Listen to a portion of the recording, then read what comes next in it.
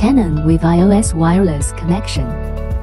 Step 1. Network selection. Select a network connection method.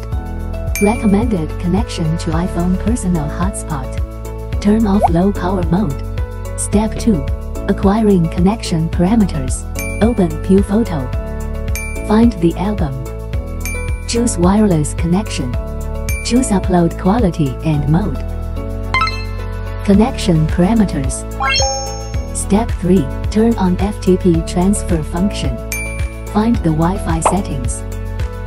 Find the FTP transfer settings. Automatic transfer choose enable. Choose larger JPEG for transfer.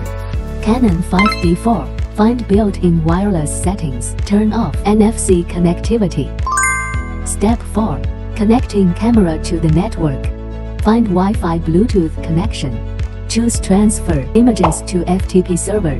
Add a device to connection. Configure online. Find your hotspot. Enter the password. Choose auto setting. Choose disable. Choose FTP.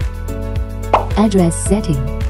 Input the FTP server IP which in your phone. Port number. Input the FTP port here. Disable passive mode. Input username and password. Choose root folder. Connected. OK. Press the shutter and let your photos fly.